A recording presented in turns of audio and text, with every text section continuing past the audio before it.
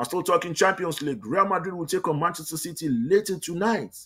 Now, the problem that Ancelotti has with on his hands right now is he doesn't know where if to start Rodrygo Goes or probably to start Federico Valverde.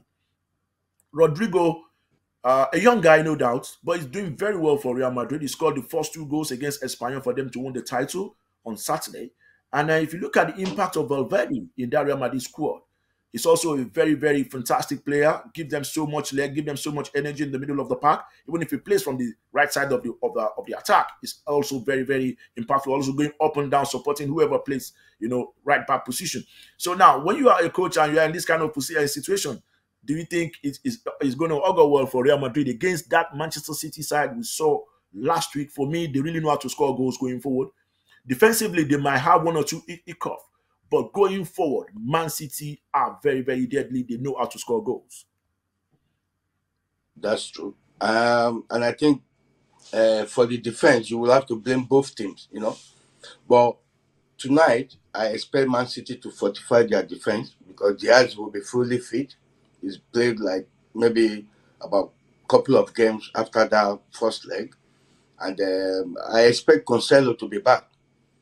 That's and, right. Uh, was and the right don't, know if back. Walker, to be- don't know if Walker will be available for that game, but Cancelo should be back. Rodri's on top of his game right now, and uh, and hey, that guy that's uh, that opened the floodgates in that uh, first leg game, talking about uh, Dia, uh, what's it called, uh, Mahrez. That guy is another Mahrez. player that Real Madrid will really take at, surely look into Mahrez. because he's one guy that makes things happen from nowhere, from the right side of the attack, and. Hey, going up against a uh, Fernando Walker- Mendy. I don't think Mendy is If that's what it takes to take stayed to match up right side of the then they wouldn't have scored that second goal that night. You know, you never know. I didn't get but that. Up with him, yeah, he's got speed to catch up with uh, uh, Vinicius.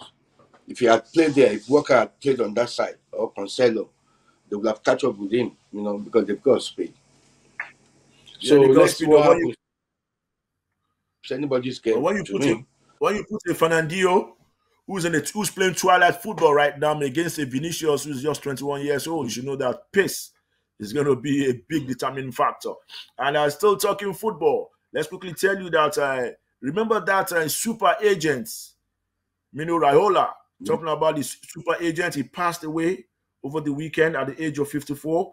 And now there's uh, a talk going on around town now. Who's going to inherit that empire?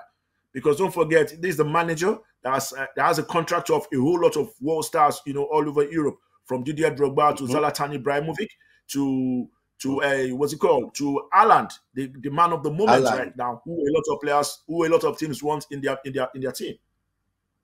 Mm.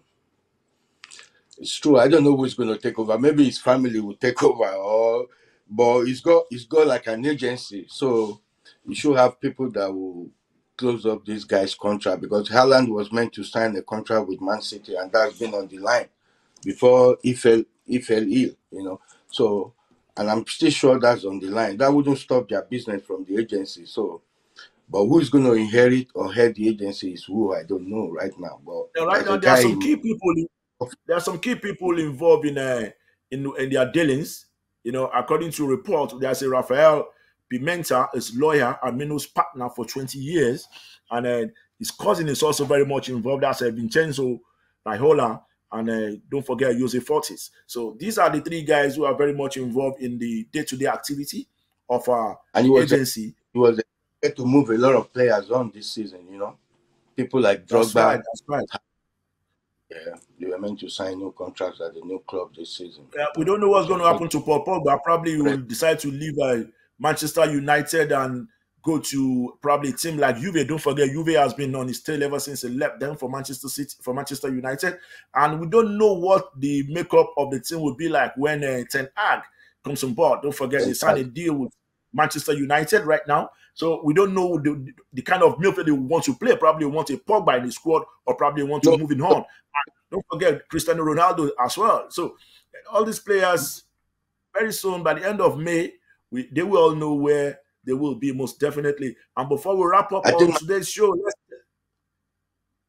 They're trying to emulate the, you know, they want young and hungry players now. So probably Yeah. about ten man eh, this this guy is going to sign ten new players, so it's going to be an overhaul, not just one Yeah, or two we, players. but if, you're, if, you're going, if, you're, if you're going to sign 10 new players, you have to balance the books. And how do you balance the books? You sell some players and Yeah. bring in some new players. Now, the question is Yeah. will they have, will they make enough money from the players that will be sold? That is the big question because they need to balance the books. So you have to make enough Mm. money before you can say, okay, I want to bring in this player, I want to bring in that player. It doesn't really work like that. It might take a, a, a process. I, I know you're signing not a sure- lengthy deal with I'm not sure they're going for well-known players or already made players that will cost them like hundred million or no. They want to go for the youth, youth players, bring them from all over the world, let them gel them together and see what they can do in the league. You know, luckily they might not. They are not going to be in the Europe next year, so maybe that will give them chance to see what the team can do in the league. Yeah, but I know that Manchester United used to have a lot of fantastic players coming from the youth team. But ever since we had people like uh, Mourinho, who we know that doesn't believe in youth players, uh, Mourinho, you know, uh, uh, what the present coach right now, yeah, and yeah, Van Gaal as well. They, we've not seen a lot of you know youngsters coming up just the way we used to see them during the time of uh, Ferguson. Apart from Ferguson, you know, most, most virtually all the coaches that took over after Ferguson have not really been churning out youth the way we used to see them. Don't forget players like Paul Scholes, uh, David Beckham, uh, uh, the Neville brothers. All these guys are players on the youth side of Manchester United, and they grew up to become world-known stars. They won everything with Manchester United.